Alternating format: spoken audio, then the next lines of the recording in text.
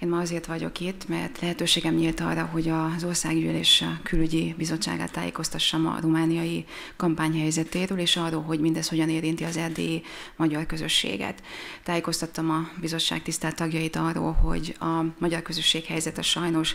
2007 óta egyáltalán nem javult, ugyanis amióta Románia nato és az Európai Unióhoz csatlakozott, azóta nem, hogy nem bővültek az erdélyi magyarság jogai, hanem egyfajta visszarendeződés tapasztalható,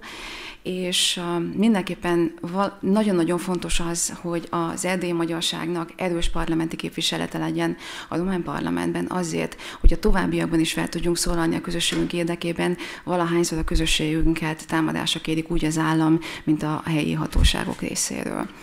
Én azt gondolom, hogy az erdély magyarságnak két hihetetlenül nehéz kihívással kell szembenéznie a, közvetlenül a választások után, és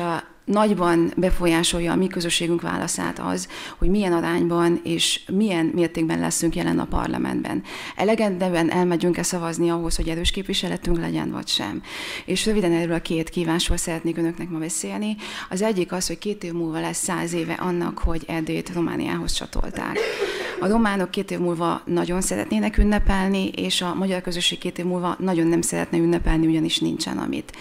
ugyanakkor a hangulat fel fog fokozódni, és hihetetlenül fontos az, hogy mi ott legyünk a parlamentben, hogy meg tudjuk akadályozni azokat a törekvéseket, amelyeket egyébként ennek a centenáriumnak kapcsán a közösségünk ellen mindenképpen hozni fognak.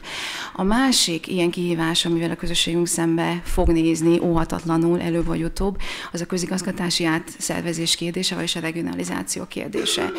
Nincsen olyan román kormány Romániában, amelynek ne létezne egy olyan régiósítási terve, amely a székesség ellen irányul. A jelenlegi terv az, hogy bennünket egy olyan megarégió, megarégióba tagoljanak be, ahol a jelenlegi körülményekkel ellentétben, ugyanis most jelenleg két megyében, Kovászna és Hargita megyében 80% körül mozog az arányunk, a harmadik megyében, Maros megyében pedig 40% körül. Tehát ehhez képest ebben az új megarégióban, amely közigazgatási egységként működne, 23-25%-os kisebbségben lennénk. Ez hihetetlen veszélyeket rejteget a mi közösségünkre nézve, és ezzel mindenképpen mindenképpen szembe kell néznünk, és ahhoz, hogy ennek keresztbe tudjunk feküdni, hogy ezt meg tudjuk akadályozni, eh, ehhez közösségi akadatot kell felmutatnunk, és ez a közösségi akadat jelenleg abban tud a leginkább megnyilvánulni, hogyha, hogyha a parlamenti választásokor erőt tudunk felmutatni. Én arra kérek mindenkit, hogy eh,